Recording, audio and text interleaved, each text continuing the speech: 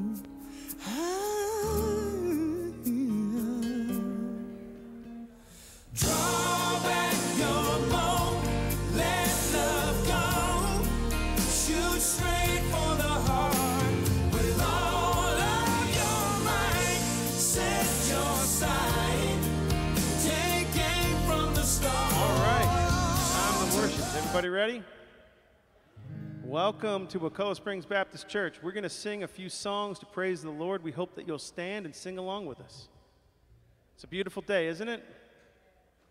All right. It's a beautiful day because He lives. One, two, three, four.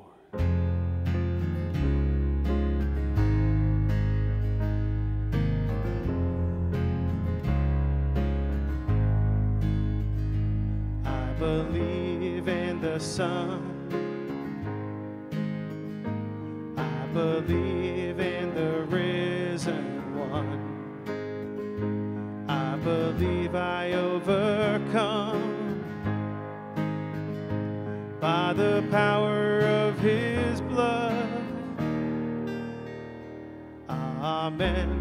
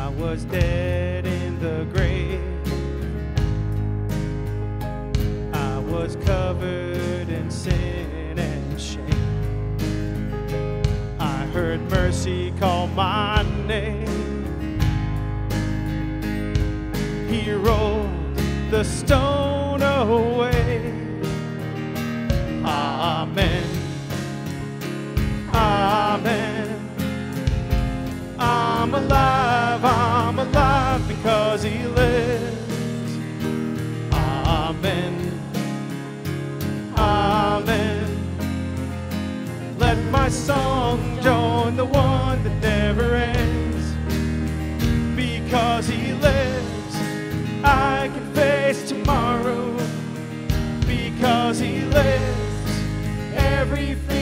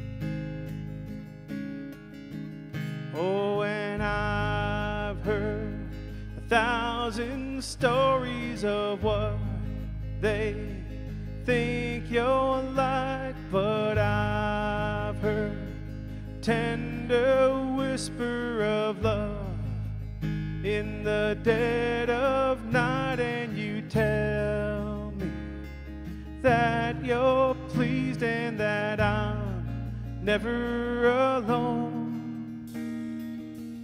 You're a good, good father. It's who you are. It's who you are. It's who you are. And I'm loved by you. It's who I am. It's who I am. It's who I am. Oh, and I've seen many searching for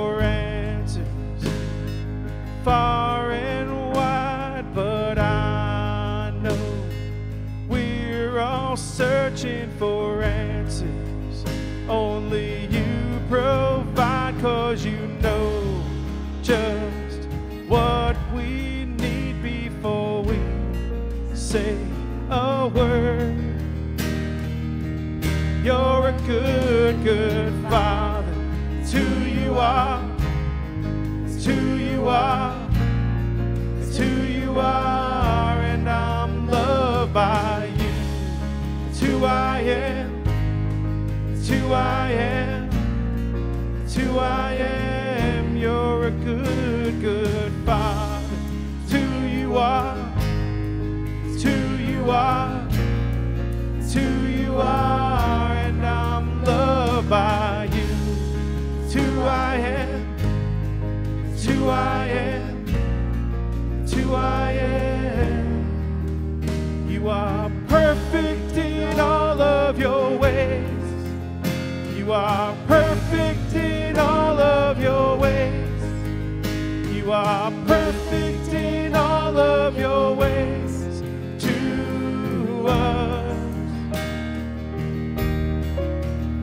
You are perfect in all of your ways. You are perfect in all of your ways. You are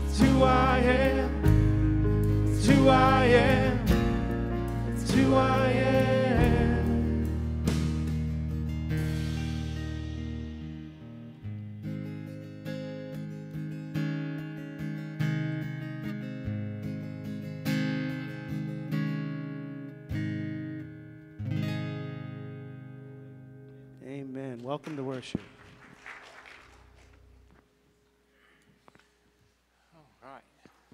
Well, good morning. I'd like to welcome you to Wakulla Springs Baptist Church. If you're a guest, know that we're glad that you're here with us this morning, that you've chosen to join with us in worship. Know that you're welcome, um, and that, that uh, we're looking forward to opportunities to meet you and, and to continue to minister to you and to your families um, going forward down the road. We do have a children's church program here. Um, our older kids, that's first grade through fifth grade, will be through this way across the parking lot to building two. And our younger kids will be through on this side. That's kindergarten and down. So whenever you see the herds release, you know where your kids should go. And that'll be a blessing, uh, hopefully, to you and your families. Uh, we have a great children's program, so we invite you to uh, send your kids to be a part of that.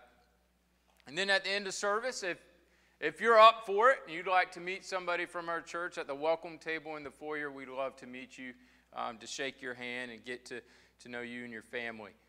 Uh, before we continue in worship, I want to share in Romans chapter 5. So we, we're leading up to Easter in a few weeks and looking at some of the truths of Scripture to remind us about who Christ is and what we have in Christ for those who are believers, and the invitation available for those who are not believers in Christ that God is inviting you to come to Him in faith and to receive Christ into your life. Romans chapter 5, verse 1.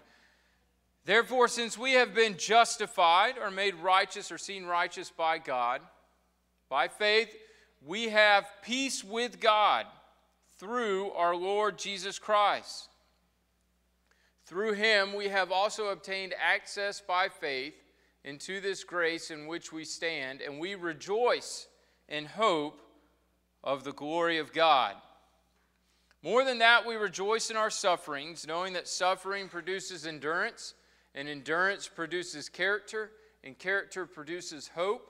And hope does not put us to shame because God's love has been poured into our hearts through the Holy Spirit who has been given to us. For while we were still weak, at the right time, Christ died for the ungodly. For one will scarcely die for a righteous person, though perhaps for a good one, good person, one would dare even to die. But God shows his love for us in that while we were still sinners, Christ died for us. Since therefore we have now been justified by his blood, much more shall we be saved by him from the wrath of God. For if while we were enemies we were reconciled to God by the death of his Son, much more now that we are reconciled shall we be saved by his life. More than that, we also rejoice in God through our Lord Jesus Christ, through whom we now have received reconciliation. Therefore, just as sin came into the world through one man and death through sin, and so death spread to all men because all sinned. For sin indeed was in the world before the law was given, but sin is not counted where there is no law. Yet death reigned from Adam to Moses, even over those whose sinning was not like the transgression of Adam, who was a type of the one who was to come. But the free gift is not like the trespass. For if many died through one man's trespass, much more have the grace of God and the free gift by the grace of that one man, Jesus Christ abounded for many. And the free gift is not like the result of that one man's sin, for the judgment following one trespass brought condemnation. But the free gift following many trans- trespasses brought justification. For if because of one man's trespass death reigned through that one man, much more will those who receive the abundance of grace and the free gift of righteousness reign in life through the one man, Jesus Christ. Therefore, as one trespass led to condemnation for all men, so one act of righteousness leads to justification and life for all men. For as by the one man's disobedience the many were made sinners, so by the one man's obedience the many will be made righteous. Now the law came in to increase the trespass, but where sin increased, grace abounded all the more so that as sin reigned in death, grace also might reign through righteousness, leading to eternal life through Jesus Christ our Lord. So we see sin isn't everybody's problem. Nobody escapes. We all fall short. But the righteousness available through Christ covers our sin when we come to God in faith in the great work of Jesus Christ. Let's pray. Dear Lord, we love you, we praise you, we thank you for Jesus. Lord, we, we come to you with empty hands, completely in debt to you, but through Christ, who, who paid our price and he took our place, Lord, we can have peace and reconciliation with you through faith. Where sin has reigned for so long, you can set us free. You sent your Son into the world not to condemn, but to save, to rescue us from from hopelessness, from sin, from your wrath. And so we praise you this morning and we thank you. We ask that you're with us in all that we do to honor and glorify you. Amen. Amen. If you'll stand, we're going to sing a couple more songs to praise the Lord. The songs we sing are important, and the lyrics are important. This song is not only a prayer, but it's also a proclamation. And uh, the, I'll just read the first verse to you. We are your church. We are your sons and daughters. We've gathered here to meet with you. And that's this special time, the special place that we're here today. And um, the song is called With Our Hands to the Heavens. And that's what we're doing. We're lifting up our hands to Him. One, two, three, four.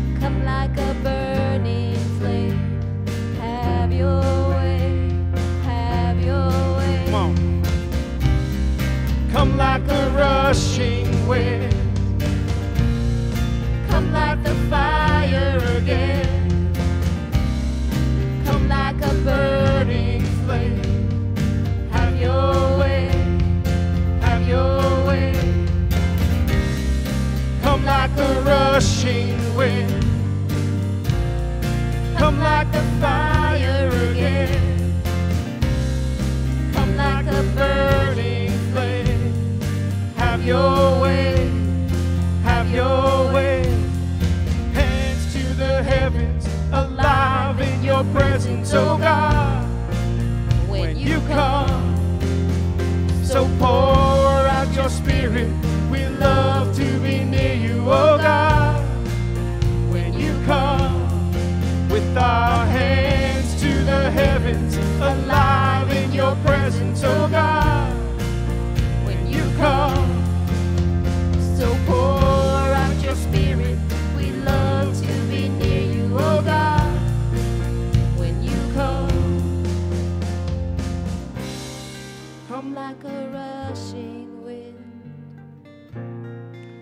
Like the fire again.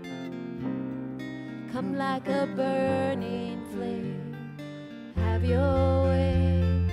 Have your way. Come like a rushing wind. Come like the fire again. Come like a burning flame. Have your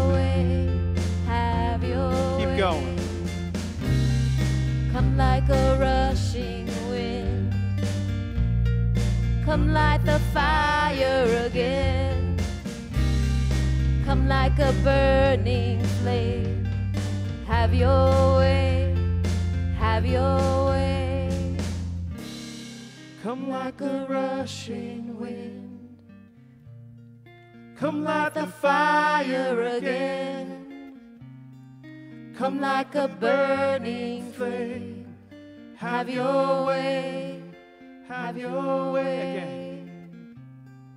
Come like a rushing wind. Come like the fire again. Come like a burning flame. Have your way. Have your way.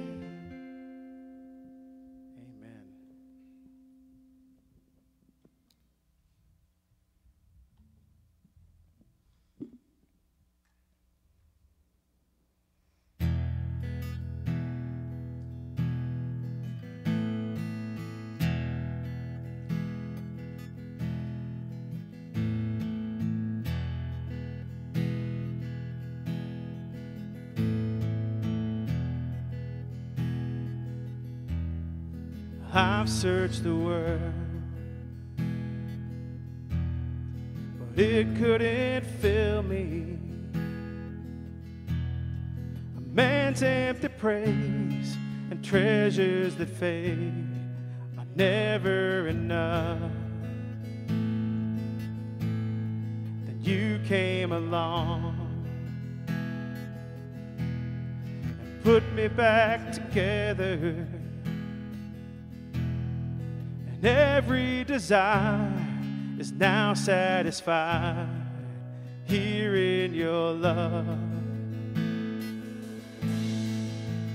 Oh, there's nothing better than you. There's nothing better than you. There's nothing, nothing is better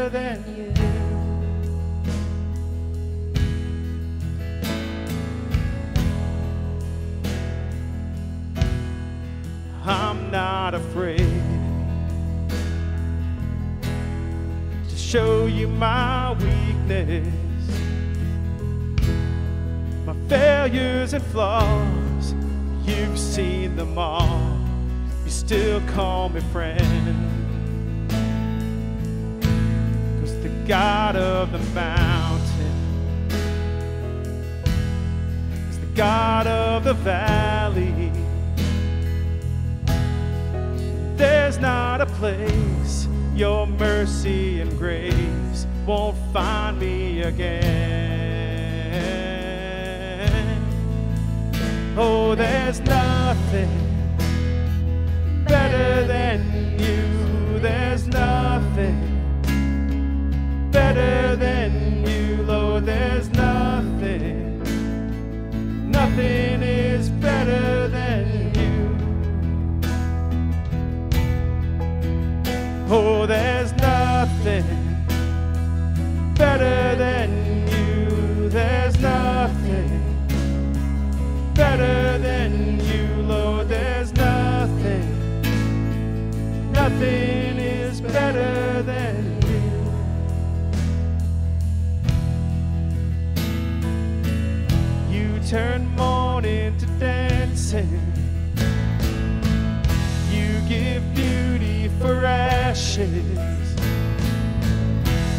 turn shame into glory. You're the only one who can. You turn graves into gardens. You turn burns into armies. You turn seas into highways. You're the only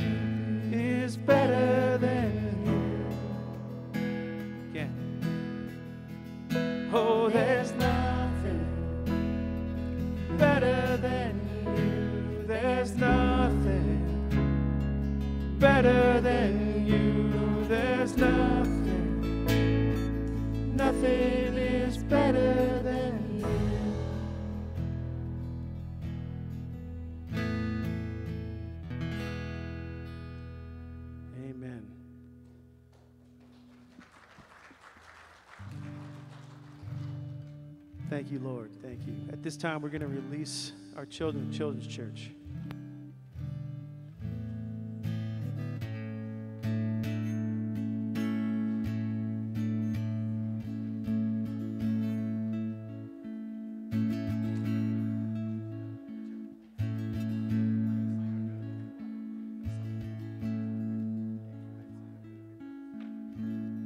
God's greatest blessing, seeing those kids.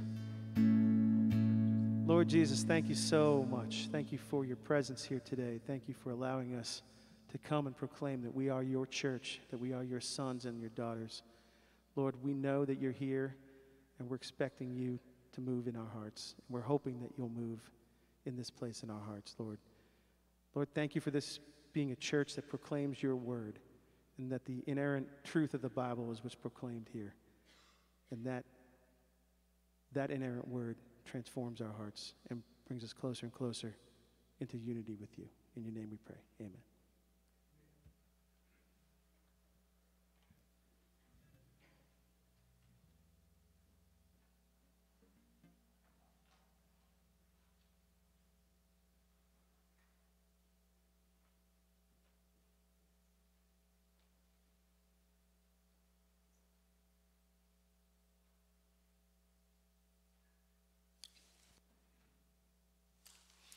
On a hill far away stood an old rugged cross, the emblem of suffering and shame. From that old rugged cross, as his blood dripped down to the ground, Jesus spoke seven times from the cross. This morning, we will listen to the voice of Jesus as he speaks three of those times today, and we'll see four of them next Sunday as we head towards the glorious two weeks from today when the one who spoke from that cross and the one who died on that cross arose from the dead. In the midst of the agony, in the midst of the suffering, listen to the voice of Jesus. This morning, we're going to look in Luke 23, and we'll see the, the statements that Luke records that Jesus spoke from the cross, and we'll see his first words, his last words, and then something really special in the middle that he said to one of the men who was dying right beside him. Luke 23, verse 32. There were also two others, criminals, led with him to be put to death. And when they'd come to the place called Calvary, there they crucified him and the criminals, one on the right hand and the other on the left. So that we understand the scene, this hill called Calvary, sometimes called Golgotha, the place of the skull, would have been located somewhere outside the city of Jerusalem. More than likely on one of the major thoroughfares headed into the city of Jerusalem because that was a part of the point.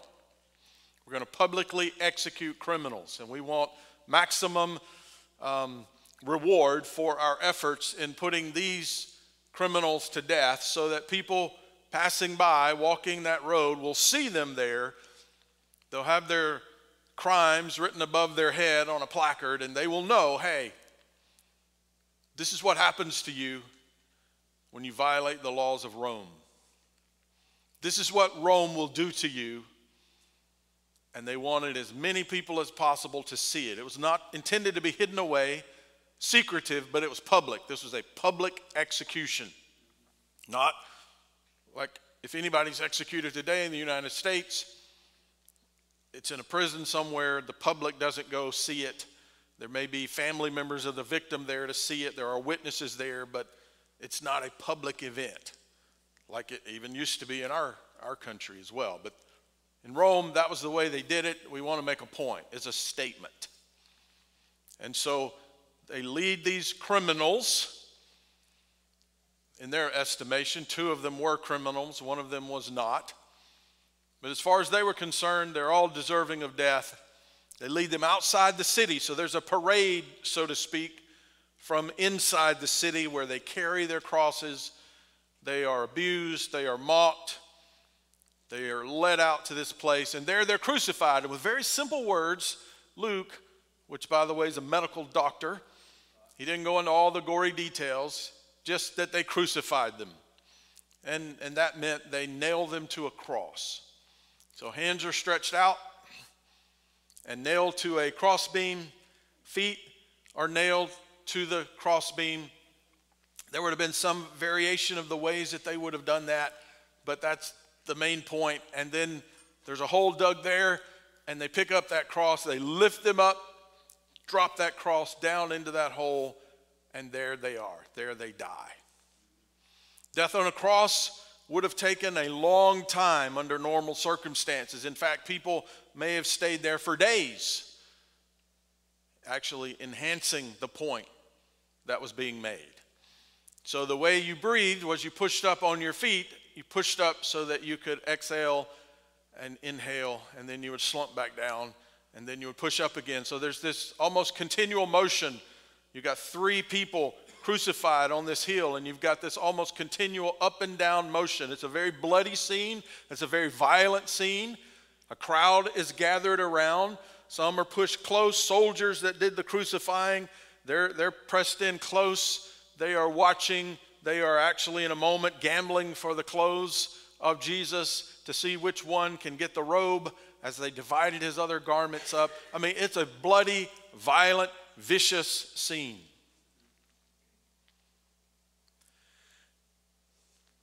And out of the midst of that, we hear the voice of Jesus. There's a criminal, a thief, a robber on one side. There's a criminal, a thief, a robber on the other side. Most likely, these are the associates of a man named Barabbas, who would have been in the middle cross, but the crowd chose Barabbas to be set free, as was the custom, and Jesus was to be crucified as Pilate offered that deal to them. Now we understand there's a bigger picture going on here and the sovereignty of God and the plan of God. But on the human level, the crowd just said, We want Barabbas to be released, this insurrectionist, this robber, this murderer, let him go. So, more than likely, not for certain, but more than likely, they knew each other. And on either side of Jesus, these two criminals are dying along with Jesus. And it was intended, on a normal circumstances, it might take several days for them to die. But that wasn't going to happen on this day because it's the day before the Sabbath day. So this is Jewish territory, and the Romans do at least respect that. And, and they're not going to have people hanging on a cross on the Sabbath. So they will break their legs at a certain point in the process so they can no longer push up and get that breath, and they will die pretty quickly after that. However, that won't happen to Jesus because he'll already be dead. He will already have dismissed his spirit before that happens. And so that's the scene, and out of that scene, Jesus speaks, and we hear the voice of Jesus. Verse 34 Then Jesus said, Father, forgive them, for they do not know what they do. And they divided his garments and cast lots. The people stood looking on, but even the rulers with them sneered, saying, He saved others, let him save himself. If he is the Christ, the chosen of God. The soldiers also mocked him, coming and offering him sour wine, and saying, If you are the king of the Jews, save yourself. And an inscription also was written over him in the letters of Greek, Latin, and Hebrew. Again, they wanted everybody to be able to read this that might pass down that roadway. This is the King of the Jews. The first word that Jesus said from the cross was Father. Father. He, he, he offers a prayer. That's the first statement, is not to people, it's to God. Father. By the way, the last word that Jesus says from the cross begins with the same word Father. Father. It was a prayer. He lifts himself up and he prays, Father, forgive them. Didn't expect that, did you? If you didn't know this story, that's not what you would expect for him to say. Father, forgive them, for they do not know what they do. Now, the Jewish leaders earlier in the life of Jesus, they were furious when Jesus addressed God as his father. See, we do that commonly, but that's not an Old Testament thing. They, they, were, they were beside themselves. They said, This is a man, and he's making himself equal with God by calling God his father, which means, okay, he's claiming to be of the same substance as God. He's claiming equality with God. That's the way they saw it. And from the cross, the very first thing he does is address God as his father. Father. I'm sure they didn't appreciate that, but what are they going to do about it now? Are they going to crucify him? Already done, right? This is a dramatic contrast, by the way. Father, kill them, you might expect in a normal scenario. Father, judge them, you might expect. Father, forgive them. They don't know what they're doing. They don't understand the magnitude of this. So, this is a dramatic contrast, isn't it? Think of the scene leading up to this as Jesus has the mock trial. Um, where witnesses come and they can't even agree with each other and, and but oh he's guilty anyway and, and let's let's crucify him the crowd screams crucify him crucify him the soldiers abuse him he's got a crown of thorns on his head that they beat down with a scepter down around his ears he's bleeding profusely he's been whipped with a cat of nine tails. He's been scourged as he's tied to a post, and his back is laid open by an experienced, I'm certain, Roman soldier who, who probably took great delight in whipping this Jew. I'm stuck here as in, in Israel and, and I have to deal with these Jews. Now, here's one. I can, he's the king of the Jews. Okay, I'll, I'll take it out on him. And, and just brutalize him. They're spitting upon him, they're mocking him. They're there at the foot of the cross. The hammers drop down, the soldiers looking up, the religious leaders who hated him, who were the ones that, from the human side of things, who with satanic hatred put this whole scheme into motion from the human side of things, and, and they're working out their evil deeds.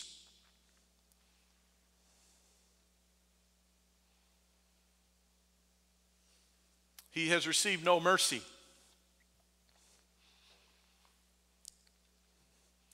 In a normal scenario, they could expect to receive none either, right?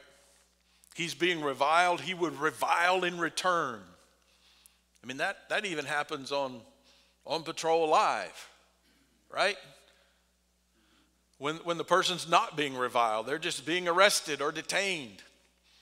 And they curse at the police and they scream at the police sometimes and they, they, they, they call them all kinds of names that are bleeped out that I'm not certain what they're saying, but I know it's not good, right?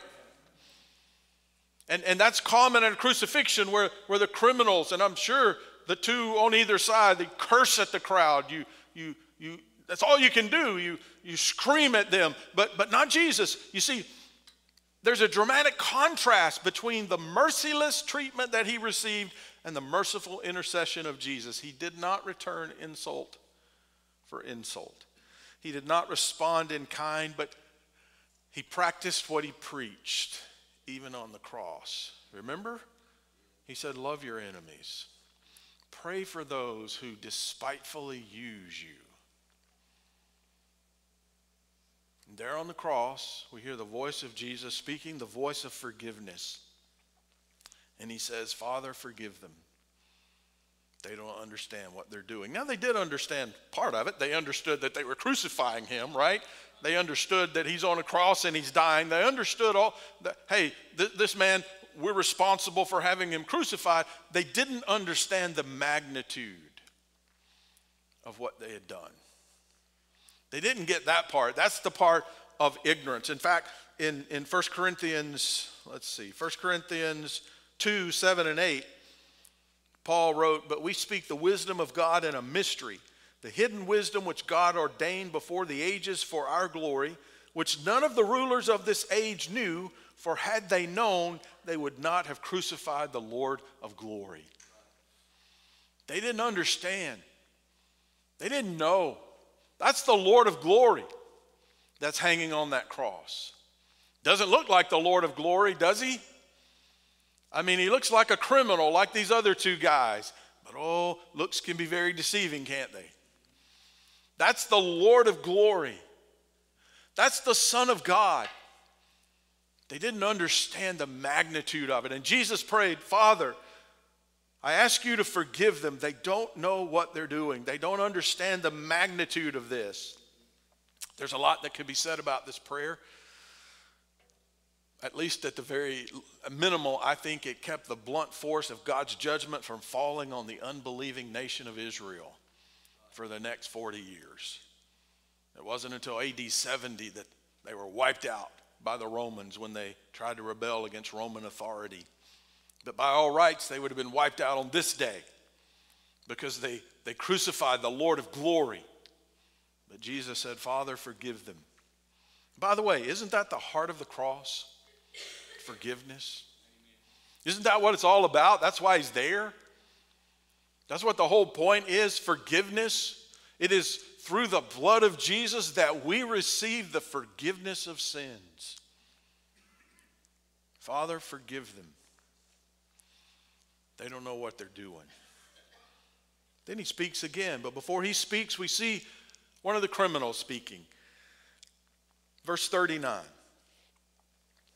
Then one of the criminals who were hanged blasphemed him, saying, If you are the Christ, save yourself and us. So I don't know which side, right or left. Let's just pick the right. This guy joins with the crowd. And by the way, from the other gospel writers, we know that earlier, both of the criminals joined with the crowd in mocking Jesus and blaspheming Jesus, both of them. But, but somewhere during the day, one of them has a change of heart. But not this guy. This guy turns to Jesus and he blasphemes Jesus. He's mocking Jesus. He says, If you're the Christ, if you're who you claim to be, why don't you save yourself? Why don't you come down off the cross? Surely the Messiah could do that, right? Surely the Messiah would have the power to prevent himself from dying at the hands of these Roman soldiers and these Jewish leaders. So if you are, in fact, who you claim to be, Mr. Jesus, why don't you come down off that cross and save yourself? And while you're at it, why don't you save us too? He's mocking him, he's blaspheming him. Both thieves did that, but at this point, verse 40, the other answering rebuked him. Be quiet. Do you not even fear God? He said. Seeing you are under the same condemnation. Hey, buddy, don't you realize we're about to die and meet God? We indeed justly, for we receive the due reward of our deeds, but this man has done nothing wrong. Hey, you want to know why you're hanging on a cross? It's because you're a criminal, it's because you're a sinner. You want to know why I'm hanging on this cross? It's because I'm a criminal. It's because I'm a sinner. We're getting what we deserve. Now, that's rare, isn't it? For a criminal to say, Yeah, I deserve this. You are, you are sentenced to whatever. You are sentenced to pay this traffic ticket. You were speeding. Uh, his radar gun must have been wrong. I don't believe I was speeding. You are sentenced to three years in prison. Somebody else stole that. You were sentenced to death. It wasn't me. I'm innocent. I didn't do it. I would never harm them, I would never hurt them. This guy says, Hey, we did it. You know it. I know it. And the reason we're dying here and being executed is because we're getting what we deserve. But, he said, this man in the middle, he's done nothing wrong. This guy's eyes have been opened. Earlier, he's mocking him like his buddy. But now he comes to understand wait a minute, this man doesn't deserve to be dying here. He's not dying here for his crimes, he's not dying here for his sins. He doesn't deserve this. And then he speaks to Jesus. Verse 42. Then he said to Jesus, Lord, Remember me when you come into your kingdom. Now, there's a lot in that one sentence, right? That, my friends, is an amazing statement of faith. This man's eyes have been opened. Now he understands who Jesus is, and he's placing his trust, his faith in Christ. D- do you understand how bizarre that is on the human level? He calls a man who's dying on a cross beside him, he calls him Lord. See, he gets it now. He didn't get it earlier in the day, but now his eyes have been opened. Lord, he calls him Lord. He, the people out here, they don't know who he is. They didn't know he's the Lord of glory. But, but this criminal hanging on a cross beside him, now he sees it. Now he gets it. And he addresses him as Lord. He's calling a man who's bleeding from his head, from his back, from his hands, from his feet, from who knows else where else he's bleeding from. He addresses him as Lord and he has a request. Why would you ask a God dying for anything? I mean, what's he going to do for you? Lord, remember me when you come into your kingdom. Do you see what he understands? He understands that what's happening right there, we're dying on this hill outside of Jerusalem. This is not the final chapter in the story. This is not the final chapter in my story, nor is it the final chapter in his story. I acknowledge you as the Messiah. You are the king. You will reign. You will rule. And I'm asking you humbly to remember me. Let me be a part of that. It's an amazing statement of faith. He doesn't look like a king. He doesn't look like he's going to reign over anything except maybe a thorn field. He has a crown made out of thorns on his head. But Lord, remember me. Lord, have mercy on me. Let me be a part of that. It's a very simple statement, but it's a powerful statement of faith. He gets who Jesus is your Lord, your King, your Messiah. You will rule, you will reign. This is not the end of the story. And I ask you to remember me when that time comes. And then Jesus speaks, and here we hear the voice of salvation from the cross. And Jesus says to this man, who earlier in the day had mocked him, he says to him in verse 43 Assuredly, I say to you, today you will be with me in paradise. Now, we could preach a whole sermon on that one statement very easily. Lord, remember me when you come into your kingdom. And from the cross, Jesus did what he had been doing his whole ministry. Do you remember why he said he came? His purpose statement? The Son of Man has come to seek and save that which was lost. There's a lost guy dying right over here who is calling on Jesus, Remember me when you come into your kingdom. And what does Jesus do? He speaks with a voice of salvation. And while dying on a cross, this man is redeemed. This man is saved. And Jesus said, okay, the future kingdom one day, well, let's not worry about that right now. I'm going to tell you today, you're going to be with me in paradise. And Jesus is go, he's returning to God, his Father. We'll see that in just a moment. You're going to be there with me. Wait a minute. This is a criminal who's so wicked and horrible, he's being executed by the Roman government. Jesus says, Hey, today you're going to be with me in paradise. It, it's the voice of salvation. This man's eyes had been opened, his heart is filled with faith in Christ as the Messiah, as the King. Remember me when you come into your kingdom. I tell you today, today you will be with me in paradise. Now, listen to me, folks. Can we just. When people die, they don't cease to exist. You with me? They don't cease to exist. They go somewhere. Where do they go? Well, they go to heaven, paradise, they go to be with God, to be with Jesus, or they go to hell.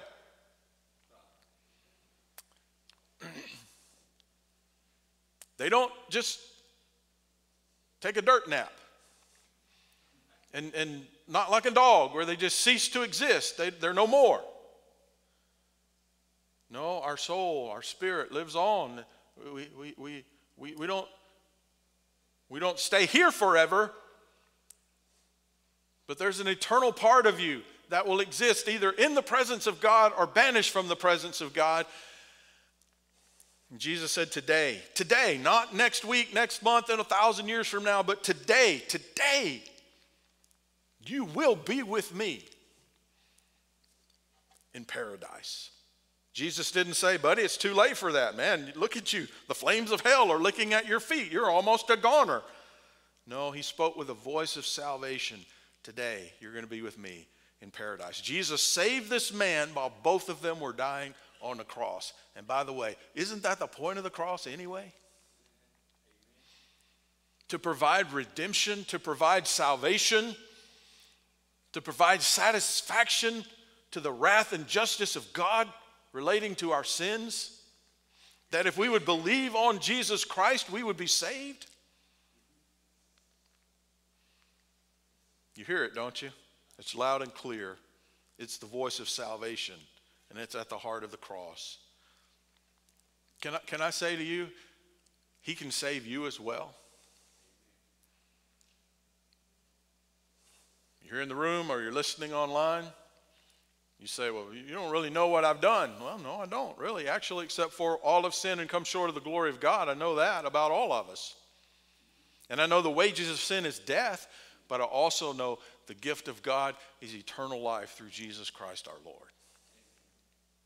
Now, that thief couldn't do anything to save himself, right? What's he going to do? Is he going to reach into his robe and give some money into an offering plate that somebody might pass around to the criminals on the cross to buy himself some forgiveness? Well, no, because he wouldn't have had any money. If he did, they would have taken it already. But even if he had some money, he wouldn't have had a robe to put it in because you didn't hang on the cross with your clothes on. And his hands were nailed to the cross. So he can't do anything. Can he go out and get baptized? Nope. Could he join a church somewhere? Nope. This is it. This is it. This is his final moments. That demonstrates to us, listen, salvation is it's by grace and it's through faith. It's not of ourselves. It's a gift of God, lest any man should boast. I know that none of you have been nailed to a cross, I'm assuming. I think that's a safe assumption. If I'm wrong, let me know after the service. I'll be the one at the welcome table today. You can come up and say, Oh, yeah, when I was 12, I was. And we'll talk about it. Okay. Um, but actually, you're really, and I'm really no different than the thief on the cross. And you say, Well, that offends me. Well, okay. Hopefully, you'll get over it. Why? I know there's maybe a different in the way you've outwardly lived your life. Maybe you've not lived your life in a way that would cause you to be executed by the government. But I also know that we've all sinned. And there's not anything we can do to fix it. That's what the cross is about. Our salvation and forgiveness of our sins is based on what Jesus did on the cross. See more about that next week when we hear one of the cries of Jesus from the cross. But we can't wait till next week. We have to understand it's the basis of our salvation. It is, it is the ground, the foundation of our salvation. It's how God can forgive us and still be just. Because our sins were judged on the cross, and we must simply turn in faith to Jesus and receive the gift of salvation. It's not based on our goodness or our works. So, in that sense, yes, we are all like the thief on the cross. We are under the sentence of death, and there's no way we can save ourselves. And if you're saved today, it's because you looked to Jesus and believed on Jesus, and He saved you by the grace of Almighty God. And if you've never put your faith in Christ, you stand before God condemned. Yes, you do. You say, Well, I've never really hurt anybody, I've never never been a thief, you stand before God condemned because of your sins. But there's good news. The Bible says there's no condemnation to those who are in Christ Jesus, to the glory and praise of God. Jesus speaks with the voice of salvation from the cross. He can speak with that same voice regarding your life today. And if he has, if you've trusted Jesus and been saved, oh my, give him praise and give him glory because one day you will be with him, and today he is with you. Let's keep reading. Verse 44. now it was about the sixth hour. There was darkness over all the earth until the ninth hour. Then the sun was darkened, and the veil of the temple was torn in two. There was a veil in the temple that separated the Holy of Holies from the rest of the temple, and behind that veil, only the high priest could enter once a year, and he better do it exactly the way he was told, or he's not coming out of there alive. He would go in there and perform the duties of the high priest that day that he was called upon to do, but no one else could enter there. There, there was a temple, that Holy of Holies represented the presence of God, and, and we, we dare not enter into that presence of God. Who can stand there? But when Jesus died on the cross, the price was paid, and that veil was torn. And specifically, one of the gospel writers, not Luke, but one of them says it was from the top to the bottom. Who ripped that veil in half? God caused it to be ripped in half, symbolizing hey, that separation is no more. You are invited to come through the blood of my son. His sacrifice, no longer blood sprinkled here, but his sacrifice on Calvary's hill. That's a sufficient payment for your sins. That's the payment that God had ordained, and that veil ripped from the top to the bottom when Jesus died. Now, notice his last words, verse 46 And when Jesus had cried out with a loud voice, he said, Father. Notice, first words he spoke, Father. Last words he spoke, Father. Into your hands I commit my spirit. Having said that, he breathed his last. Jesus knew where he came from and where he was returning to. Father, into your hands I commit my spirit. This is the voice of confidence. He knew where he was going. He was returning to the Father, and he committed himself into the Father's hands. There was no doubt, there was no wavering or waffling, there was only confidence. On the night before this crucifixion. When Jesus washed his disciples' feet, in John 13, verse 3, it says that Jesus knew that he came from God and was returning to God. And that he got up and took a towel, washed the disciples' feet. He knew where he came from and he knew where he was going. He was returning to God. So, where did Jesus go when he died on the cross? He went to be with the Lord, with the Father. His body was buried.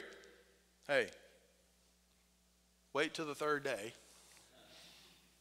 But his spirit went to be with the Father. In fact, he said to the thief, Hey, today you're, you're going there too. By the way, let me just roll that back. You say, Well, I'm going to wait. Thief on the cross, I'm going to wait until maybe before I die, and then I'm going to get saved. And that, that may be the case, but remember, there were two thieves. Only one of them turned to Jesus. That gives us encouragement that that can happen, but also there's a warning.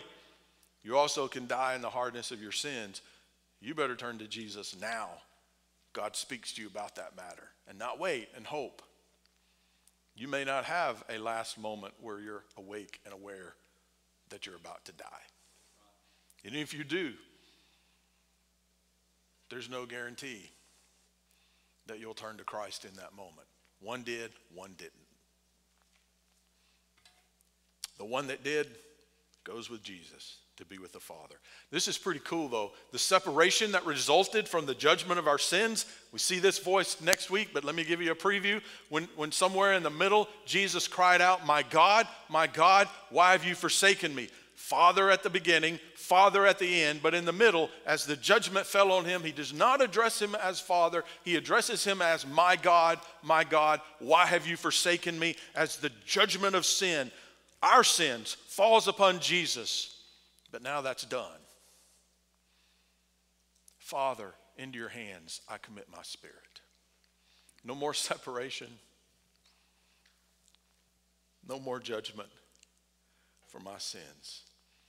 It was not a permanent separation.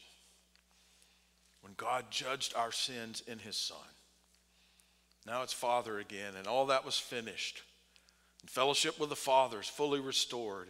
And Jesus spoke with a voice of confidence I'm returning to my Father. Father, into your hands I commit my spirit. I prayed that prayer on several occasions in my life, not because I knew I was about to die, but I thought, hey, the possibility is there. The last time I remember praying it was uh, when I stepped out of the airport in Haiti last July.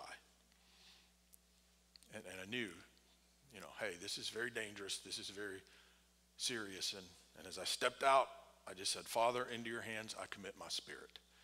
I just give myself to you, God. And whatever you determine needs to happen, it's going to happen.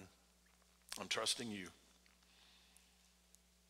Jesus, Father, I commit my spirit into your hands. So from the cross, that old rugged cross, we hear the voice of forgiveness Father, forgive them. They don't understand what they're doing. We hear the voice of confidence Father, into your hands I commit my spirit. So the first words, Father, forgive them. The last words, Father, into your hands I commit my spirit. And somewhere in the middle, the voice of salvation. Today you'll be with me in paradise. So, my question for you this morning if you breathed your last today, tonight, where would you be? Would you be with the Lord Jesus in heaven? Or would you be eternally separated from God? If you don't know the answer to that question, on the plus side of yes, I'll be with Jesus, I encourage you to turn to Jesus. Believe on the Lord Jesus Christ, and you will be saved. That's the declaration of Scripture. I'm grateful that Jesus spoke from the cross with the voice of salvation. And I'm grateful that he spoke into my life when I was a 15 year old teenager. The voice of salvation when he saved my soul. I pray for you, if you don't know it, that you'll come to know confidently and assuredly that you belong to Jesus through faith in his name. If you do know that, that you would live passionately for his glory and for his honor. No matter where you are or what you do, do all for the glory of Jesus Christ. He spoke four other times. They'll be our focus next Sunday. But today, the voice of salvation. Are you going to be with Jesus? Let's stand together. Father, thank you for the privilege through Jesus to call you Father. Thank you for what that means and how special and important it is. Lord, I pray that if there's anybody here or listening that's not trusted Jesus, they've not believed on Christ, that you would open their eyes like you did the thief on the cross. Open their eyes so they can see the truth of who they are and their desperate need for Christ. That Jesus is the answer and the only answer. Lord, I pray you'd speak to them. And then, Lord, awaken us who do know Jesus. We, we can just become very sloppy and careless in the way we live our lives. Thank you for the forgiveness that we have through Christ. Help us to live with passion for his glory and his honor. In the name of Jesus. Amen.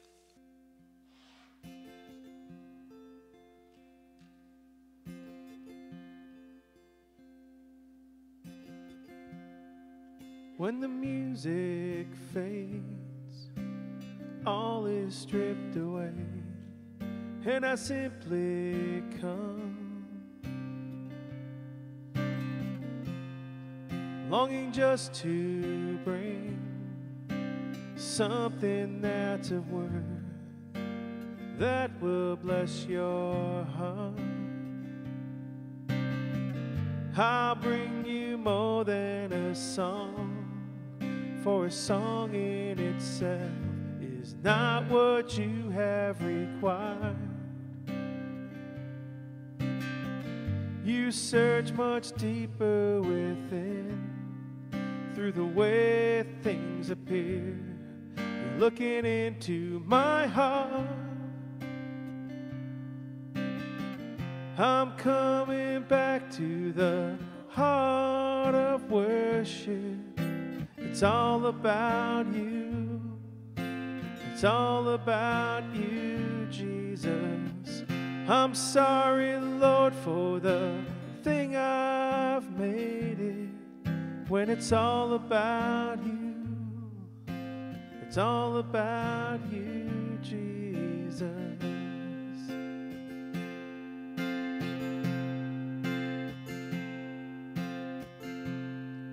King of endless worth, no one could express how much you deserve.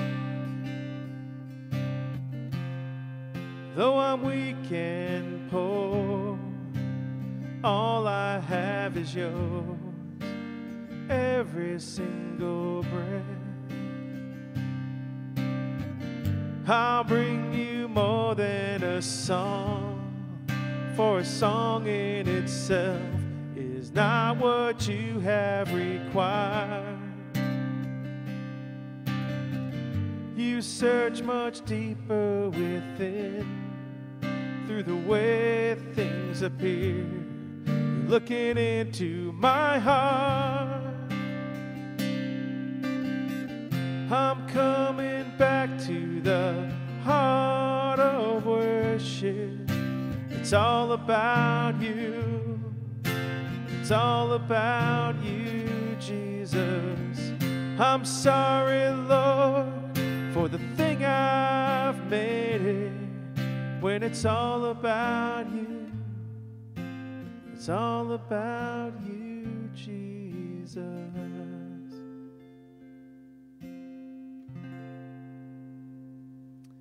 Amen. Thank you, Lord, for this powerful word and this powerful worship service. Lord, thank you. And, and um, we just pray that you continue to work in our hearts throughout this entire week. In your name we pray. Amen.